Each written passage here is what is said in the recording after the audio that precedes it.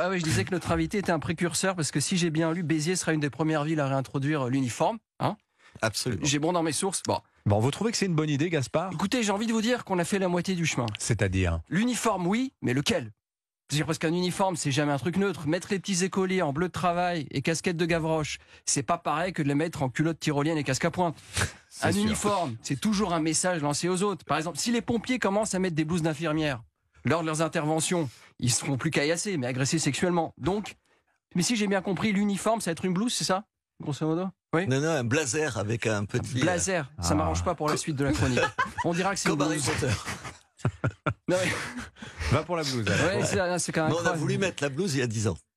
Ah ouais? Non mais Ouais. c'est peut-être mieux parce que c'est vrai qu'on lutte du matin au soir contre le cirque autour de l'idée d'identité de genre. Et si on commence à mettre les petits garçons en petites filles, euh, faudra pas venir pleurer à Noël parce que les petits mecs de Béziers demanderont des dinettes et des poupées Barbie. Enfin bref.